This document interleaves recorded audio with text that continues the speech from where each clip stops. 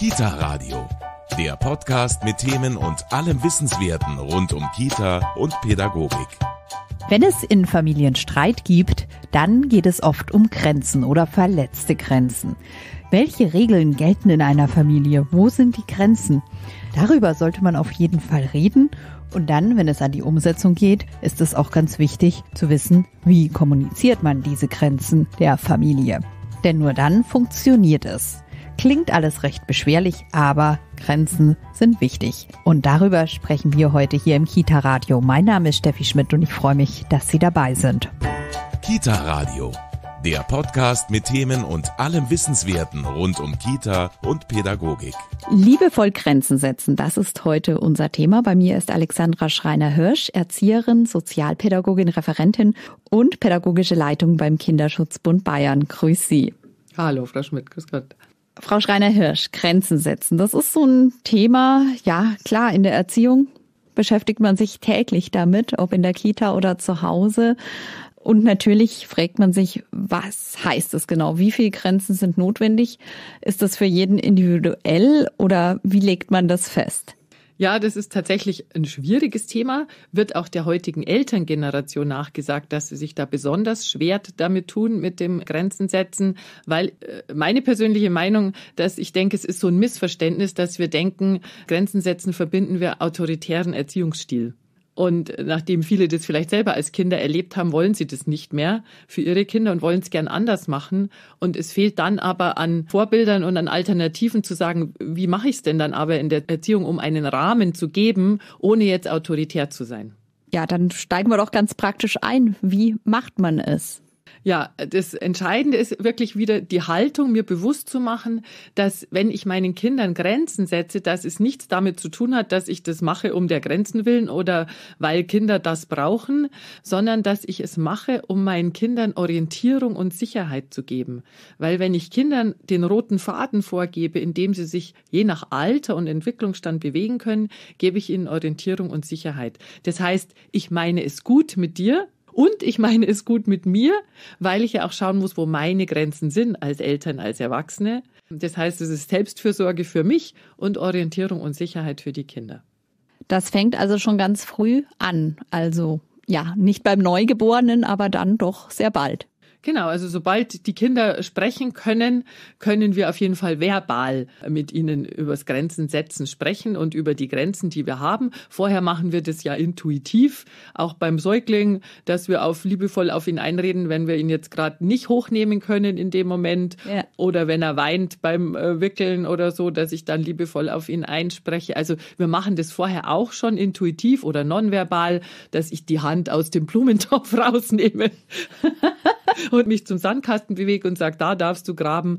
Also mache ich es von Anfang an im Grunde. Nur verbal ähm, kann ich es dann eben ab dem Moment gut machen, wo sie sprechen können. Verbal ist ein gutes Stichwort, denn es kommt ja dann drauf an, wie ich es sage, oder? Genau. Und da äh, sind wir dabei, dass es beim Grenzen setzen auf meine Emotionsregulation als Erwachsener ankommt. Wir schauen immer so ein bisschen hin in der Erziehung und Begleitung von Kindern. Wer hat die unangenehmen Gefühle und was braucht dementsprechend für ein Handwerkszeug? Wenn die Kinder unangenehme Gefühle haben, die nichts mit mir zu tun haben als Erwachsener, begleite ich sie dadurch. Das heißt zum Beispiel? Dann geht es um das äh, Emotionscoaching, das hat der John Gottman so benannt und beschrieben, wo es eben darum geht, den Kindern beim Verarbeiten ihrer unangenehmen Gefühle zu helfen, indem ich zwei Fragen, die mich da auch begleiten. Die eine ist, wo spürst du es denn im Körper? Das Kind zu fragen, so kurz bevor du wütend wirst, merkst du das irgendwo? Und die zweite Frage ist, was hilft dir denn dann, um dich zu beruhigen, dass wir hinterher drüber sprechen können, was wir jetzt machen mit dem Problem? Und das sind so zwei Grundfragen wieder, die uns allen helfen können, Erwachsenen und Kindern, beim Umgang mit unseren Gefühlen. Und das ist natürlich nichts, was wir von heute auf morgen lernen, sondern was dauert. Und dann haben Sie gesagt, der zweite Bereich? Genau, ist das Grenzen setzen. Das heißt, es hat auch wieder was mit meinen Werten zu tun. Meine Grenzen, meine Regeln stehen im direkten Zusammenhang mit meinen Wertvorstellungen. Also wieder, was möchte ich, dass das Kind lernt und was muss ich dafür tun, dass es das lernen kann. Und wenn ich das weiß, dann setze ich in diesem Rahmen wahrscheinlich, stelle ich die Regeln auf bei uns in der Familie, in optimaler Weise gemeinsam mit meinen Kindern, genauso wie es die Kita macht, die Regeln gemeinsam mit den Kindern aufzustellen. Und dann vereinbaren wir, welche logischen Konsequenzen gibt es, ja, wenn sich nicht an die Regeln gehalten wird. Und das sind aber Regeln, die Sinn machen für alle, wo ich sage, da geht's um ein soziales Miteinander. Zum Beispiel, was machen wir eben, äh, wenn ich von jemandem etwas möchte? Was will ich, wenn mich jemand ärgert? Was mache ich da? Wie verhalte ich mich da? Ab welchem Alter kann ich sowas zusammen mit Kindern erarbeiten? Oh, Kinder sind wahnsinnig schlau. Das geht ganz früh, ganz schnell. Ich weiß noch gut, eine Freundin, da war der Sohn drei, die Tochter vier, und sie hat mit ihnen das besprochen und der Dreijährige hat gesagt, ihm ist ganz wichtig, dass hier in der Familie immer was zu essen gibt. Und das heißt, er hat schon was erkannt. Erstmal müssen Grundbedürfnisse gedeckt ja. sein, bevor ich mich um hehre Werte wie Toleranz und äh, was auch immer kümmere. Jetzt sollten sich bei den Grenzen, Sie haben gesagt, im Idealfall sollte sich die ganze Familie abstimmen, aber zumindest mal die Eltern als Paar einig sein, oder? Es ist ja doch aber oft so, dass Mamas und Papas ein bisschen unterschiedliche Rollen einnehmen, oder? Ja, also auch wieder völlig normal, weil sie sind ja auch unterschiedliche Menschen, die auch in unterschiedlichen Familien groß geworden sind und unterschiedliche Werte mitbekommen haben. Und deswegen ist es normal, dass sie auch unterschiedliche Vorstellungen haben über Erziehung. Und es lohnt sich eben, sich immer wieder zusammenzusetzen, auch wenn man denkt, da hat man keine Zeit, aber man gewinnt halt die Zeit, weil man eben sich über die Unterschiede und über die Gemeinsamkeiten einig werden kann und sich aussprechen kann. Also es wäre am einfachsten für alle Beteiligten, wenn Eltern oder Erzieherinnen sich komplett einig wären in allem, weil dann wüssten die Kinder ganz klar, was gilt bei allen. Das andere ist aber die Realität, dass sich eben nicht alle einig sind. Und das ist auch in Ordnung und das können Kinder auch lernen, dass es bestimmte Dinge gibt, die bei der Mama so sind und beim Papa anders. Solange sie nicht auch lernen, das auszunutzen. Ganz genau. Und da sind wir dann oft ärgerlich mit den Kindern, wenn sie es ausnutzen. Ich sage immer, da muss ich ärgerlich mit mir sein, weil wir haben ihnen die Möglichkeit gegeben. Und ich würde sagen, es zeugt nur von Intelligenz, wenn ich 100 Prozent nehme, wenn ich es kriegen kann, weil die Eltern sich nicht miteinander absprechen. Also da sind nicht die Kinder das Problem, sondern die Erwachsenen, die sich darüber nicht absprechen oder sich gegenseitig auch in den Rücken fallen ich sage immer, das Entscheidende ist, sich einig in der Uneinigkeit zu sein und da auch sich gegenseitig den Rücken zu stärken und den Kindern das zu kommunizieren. Warum ist es überhaupt so wichtig, Grenzen zu setzen? Was bringt das auch den Kindern? Wir haben vorher schon ein bisschen geredet. Sie haben gesagt, es hat nichts mit autoritärem Erziehungsstil zu tun. Was hilft es den Kindern? Also Kinder kommen auf die Welt und sind ja erstmal hilflos und brauchen eben Erwachsene, die ihnen Orientierung und Sicherheit geben und sagen, wie läuft's denn hier auf dieser Welt? Wie komme ich denn zurecht mit diesen vielfältigen Erfahrungen, äh, Dingen, die passieren, die ich erlebe, Menschen? Und wenn da jemand ist, der mir sagt, je nachdem wie alt du bist ja, und wie deine Entwicklung ist, helfe ich dir, kannst du dich in so einem Rahmen bewegen und ausprobieren. Ich bin dabei, ich begleite dich. Und es gibt Dinge, da bin ich verantwortlich, weil es vielleicht auch gefährlich wird für dich. Da muss ich sagen, stopp. Yeah. Und es gibt andere Dinge, die kannst du selber sogar entscheiden. Und es wird Dinge geben, da können wir drüber reden und finden einen Kompromiss. Das sind im Grunde die drei Dinge je nach Alter und Entwicklungsstand. Es gibt Dinge, die kannst du selber entscheiden, Dinge, die entscheiden wir zusammen und Dinge, die muss ich entscheiden, weil ich am Ende die Verantwortung habe. Das ist aber eine wunderbare Zusammenfassung oder Aufteilung, die man sich einfach auch mal bewusst machen sollte, die man ab einem gewissen Alter auch dem Kind genauso vermitteln kann, oder? Auf jeden Fall. Ich kann das genauso sagen. Und ich glaube, es war auch mein Satz, den ich ganz häufig als Mama gesagt habe. Dieses, ich will euch nicht ärgern und ich meins nicht bös mit euch, sondern ich meins gut mit euch im Sinne von, ich mache mir Sorgen und deswegen biete ich euch hier, und das ist das Entscheidende, ähm, als Grenzen Wahlmöglichkeiten an. Also zwei Erlaubnisse statt einem Verbot. Und Kinder können auch lernen, Sie haben es vorher schon angesprochen, Grenzen können auch an unterschiedlichen Orten unterschiedlich aussehen. In der Kita werden mir vielleicht andere Grenzen gesetzt als zu Hause und vielleicht gilt auch bei meiner Freundin, bei meinem Freund zu Hause etwas anderes als bei mir daheim.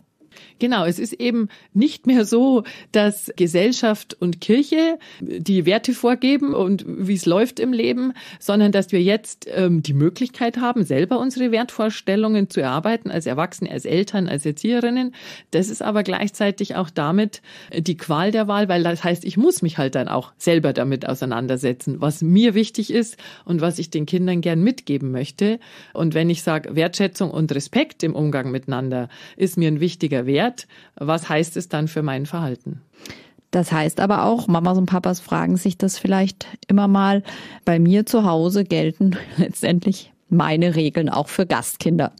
Auf jeden Fall, jede Familie entscheidet das für sich und kann sagen, bei uns gilt Folgendes, ja, bei uns läuft so. Und wichtig ist jetzt, die Kinder nicht auch in den Loyalitätskonflikt zu bringen. Das sage ich den Erzieherinnen auch immer in der Fortbildung, dass auch wenn Eltern andere äh, Regeln haben, andere Wertvorstellungen haben, dass es nicht darum geht, jetzt den Kindern zu sagen, unsere sind richtig, die daheim sind falsch, sondern zu sagen, okay, bei uns läuft es so und zu Hause ist es anders. Und da, das erleben wir ja, wie schlau Kinder sind, dass die das super schnell lernen können, wo was gilt. Wichtig ist nur, dass wir klar sind, dass wir transparent sind und uns eben in der Unterschiedlichkeit den Rücken stärken. Ich bin jetzt neugierig geworden. Was wären so konkrete Sachen, wo Sie sagen, da haben Erzieherinnen das schon erlebt in der Kita? Oh, ich glaube, das erleben Erzieherinnen ganz oft, weil eben der jetzigen Elterngeneration ja eben unterstellt wird, dass sie so ein bisschen Schwierigkeiten haben mit dem Grenzen setzen, weil sie das eben mit autoritär verwechseln und deswegen die Kinder es vielleicht schwerer aushalten als früher, wo es hieß, solange du die Füße unter meinem Tisch hast, machst du, was ich sage. Die Erzieherinnen erleben, dass Kinder sich schwer tun, sich an Regeln zu halten und an Grenzen und dann eher sehr emotional werden, wenn da jemand ist, der ihnen eine Grenze setzt oder sagt, stopp, das müssen wir anders machen, weil sie es eben zu Hause vielleicht nicht erleben. Andererseits haben wir heute eine Elterngeneration, die hunderte von Ratgebern liest, sich informiert. Aber eigentlich braucht es das alles nicht, wenn ich sie jetzt so höre. Es sind eigentlich die einfachen Regeln, die paar Dinge, über die man sich auch klar werden muss, die ganz, ganz viel helfen, oder? Ja, genau. Also das ist das Schöne, dass wir jetzt schon auch eine Generation haben an Eltern, die sich sehr beschäftigen und denen Erziehung ganz wichtig ist. Und gleichzeitig macht diese Vielzahl an Ratgebern auch die Eltern eher unsicher, weil ich glaube, es kommen 11.000 Ratgeber im Jahr raus und jeder erzählt ein bisschen was anderes. Und diese Unsicherheit der Eltern überträgt sich natürlich dann auf die Kinder. Wenn die Eltern nicht ganz sicher sind in dem, was sie sagen, ob es jetzt was Süßes an der Supermarktkasse gibt oder nicht, manchmal sage ich ja, manchmal sage ich nein, manchmal weiß ich es nicht genau. Das spüren Kinder und dann zeugt eben wieder von ihrer Intelligenz, wenn sie sagen, wenn ich noch ein bisschen schubse, dann geht noch was. Ja, dann liegt das Problem nicht bei den Kindern, sondern bei den Eltern, die eben nicht klar Grenzen setzen wollen. Jetzt sind wir andererseits heute auch eine Generation, die ihre Kinder eher überbehüten. Also das geht ja auch zum Thema Grenzen setzen, hin das Thema. Ja, auch da muss ich einen Weg finden. Wie immer im Leben ist es auch jetzt so aktuell in der Gesellschaft, dass wir die ganze Bandbreite haben vom Extrem, also wirklich, ich kümmere mich gar nicht und gefühlt interessiert es mich nicht, äh, wie es meinen Kindern geht und das andere Extrem eben die berühmten Helikoptereltern oder Curling-Eltern, die alles für ihre Kinder erledigen. Und Curling, finde ich, macht es so deutlich. In dem Sport geht es darum, eben alles aus dem Weg zu räumen. Und da wären wir dann beim nächsten Thema, beim Thema Resilienz. Wie kann ich meine Kinder widerstandsfähig machen? In, nicht eben, indem ich ihm alle unangenehmen Dinge aus dem Weg räume. Grenzen setzen, aber liebevoll haben wir heute das Thema genannt. Was heißt das jetzt genau? Wie gehe ich da vor, Frau Schreiner-Hirsch? Also das Erste ist mir eben bewusst zu machen, was sind denn meine Regeln? Wo sind meine Grenzen? Die dann netterweise transparent zu machen, um meinen Kindern zu sagen, was mir wichtig ist und was ich gar nicht möchte. Dann dürfen die das auch erzählen, was ihnen wichtig ist und was sie gar nicht wollen. Und wie gesagt, das können die schon sehr gut. Und dann gibt es verschiedene Möglichkeiten, Grenzen zu setzen. Das eine ist eine natürliche Konsequenz. Da kommt es aufs Alter der Kinder an. Also zum Beispiel, wenn der zehn ist und seine Hausaufgaben vergisst, ist die natürliche Konsequenz, dass er vermutlich in der Schule Ärger kriegt, weil er sie vergessen hat. Ja. Und jetzt ist es meine Aufgabe bei der natürlichen Konsequenz, es auszuhalten als Eltern und eben nicht jedes Mal alles zu hinterher zu fahren. Das Turnsackerl, das Federmappal und die Hausaufgaben, weil er es erleben soll Wir lernen aus Erfahrung, wir Menschen werden wir klug. Ja, und das heißt, wenn er Ärger bekommt und nach Hause kommt und schimpft und sagt, oh, jetzt habe ich heute Ärger gekriegt, dann eben auch wieder wichtig, nicht Ironie und Sarkasmus, sondern sagen, okay, das war jetzt eine blöde Erfahrung, ganz ernst gemeint. Und was kannst du denn morgen machen, dass du dran denkst? Und da ist es aber wichtig bei der natürlichen Konsequenz Alter und Entwicklungsstand. Ich werde natürlich keinem Dreijährigen sagen, oh blöd, jetzt hattest du heute Hunger, weil du keine Brotzeit dabei hattest. Da ist es meine Aufgabe. Die zweite Möglichkeit ist, Grenzen zu setzen. Da geht es um Wiedergutmachung. Das heißt, die Grenze ist schon überschritten worden. Es ist zum Beispiel das Glas umgekippt. Und statt jetzt zu schimpfen und zu schreien und zu jammern, dass man jetzt schon wieder so viel tun muss und aufwischen muss, wie ungeschickt doch das Kind ist, wäre es eigentlich entspannter für alle, wenn ich sage, oh, da ist jetzt was passiert. Und wieder je nach Alter und Entwicklungsstand, wie kannst du es wieder gut machen? Die Kleinen können mir immerhin schon den Lappen holen, die Größeren können selber aufwischen und den Lappen wieder wegtragen. Und dann ist eigentlich nur die Frage für mich, was kannst du denn nächstes Mal tun, dass das nicht passiert? Ah, schlau wär's, das Glas in die Mitte vom Tisch zu stellen. Dann gibt's noch die logische Konsequenz und die finde ich ist ganz entscheidend, weil da ist das Spannende zwischen Strafe und logischer Konsequenz was ist was und wie sage ich's und manchmal ist das Ergebnis das gleiche, nur mein Ton und meine Haltung machen den Unterschied, ob es eine Strafe wird oder eine logische Konsequenz. Was wäre da jetzt ein Beispiel dafür? Beispiel, Kind will ohne Helm Fahrrad fahren. Ich kann jetzt ausflippen und sagen, ohne Helm wird nicht gefahren und wenn du jetzt ohne Helm fährst, dann ist das Fahrrad weg. Du wirst schon sehen, was du davon hast. Oder ich bleibe eben entspannt und sage, okay, da sind jetzt zwei verschiedene Bedürfnisse. Ich habe Sorge um dich, deswegen hätte ich gern, dass du den Helm aufsetzt. Nicht verhandelbar ist für mich, ohne Helm zu fahren. Und jetzt schauen wir mal, was ist denn verhandelbar für mich? Und dann kommen die zwei Wahlmöglichkeiten ins Spiel mit der logischen Konsequenz. Ich sag, pass mir auf. Ich sehe jetzt, du möchtest ungern den Helm aufsetzen. Du kannst jetzt wählen, Du kannst mit Helm mit Fahrrad fahren zu deiner Freundin oder ohne Helm zu Fuß gehen. Was möchtest du? Du darfst entscheiden. Und das ist anders als ein Nein, ohne Helm wird nicht gefahren. Das wäre das Verbot. Das andere sind zwei Erlaubnisse. Also auf jeden Fall etwas, das höre ich schon, wo man ganz viel fürs ganze Leben mitnimmt. Auf jeden Fall, weil es geht eben um Kompromisse finden und aushandeln. Und da ist aber das Entscheidende, wie gut ist unsere Beziehung. Ich bin natürlich nur bereit, Kompromisse mit jemandem zu schließen und zu kooperieren, wenn ich das Gefühl habe, irgendwie der mag mich. Und der sieht mich auch mit dem, was ich kann und was ich gut mache und schimpft nicht immer nur mit mir. Beim Thema Grenzen setzen ist natürlich das wichtig, ähm, wirklich konsequent zu bleiben, immer die gleichen Regeln zu haben. Genau, also die Konsequenz ist eben das Entscheidende. Auch wenn ich mit Kindern spreche, äh, Schulkindern und sie frage, was denn für sie wichtig ist für Lehrkräfte, zu sagen, die müssen nicht nur drohen, ja, sondern konsequent sein. Und da haben die schon was erkannt, ja, dass es eben zwischen Strafe und logischer Konsequenz nur sehr schmal ist der Grad. Und das heißt auch wieder, es wäre fair, am Kita-Jahresanfang, am Schuljahresanfang gemeinsam diese Regeln zu besprechen, dass Kinder sich auch dran halten können, weil Kinder wollen sich an Regeln Regeln halten, mal grundsätzlich, wenn die Sinn machen, ja, und wenn die mit ihnen besprochen werden und wenn sie beteiligt sind. Und sie dürfen die aber auch in Frage stellen. Das ist ja auch was, was, was Entwicklung bei Kindern und was Kindheit ausmacht, dass ich die Grenzen der Erwachsenen in Frage stellen darf. Wir wollen ja keine gehorsamen Kinder erziehen, sondern schon die, die in Frage stellen, ob das auch wirklich so gemeint ist und ob es nicht noch eine Alternative gibt. Und dann kann man drüber diskutieren immer wieder die Frage, was möchte ich, dass das Kind lernt. Es wäre natürlich bequem für uns, wenn sie bis zum 18. gehorsam sind und dann selbstständig, selbstbewusst und verantwortungsvoll ins Leben gehen. Und ich denke, es ist auch ganz sinnvoll, aber das kriegen Kinder ja im Normalfall ganz schnell mit. Auch in unserem Erwachsenenleben gibt es Grenzen, es gibt Verkehrsregeln, es gibt viele Regeln, die den Alltag erleichtern eben, das Leben ist so anstrengend und so vielfältig, dass uns Rituale und Regeln, Wiederholungen das Leben wirklich leichter machen. Und es entspannt uns als Erwachsene, wenn wir Rituale haben mit Kindern und es entspannt die Kinder, weil sie nicht permanent schauen müssen und überlegen müssen, was kommt jetzt, wie läuft heute. Und dann, wenn ich entspannt bin, entstehen auch weniger Stress und unangenehme Gefühle und Konflikte, die ich dann ja erst wieder mühsam lösen muss. Wunderbar. Liebevoll Grenzen setzen, das war heute unser Thema im Kita-Radio. Ich bedanke mich ganz herzlich bei Alexandra Schreiner-Hirsch, Erzieherin, Sozialpädagogin, Referentin und pädagogische Leitung beim Kinderschutzbund Bayern.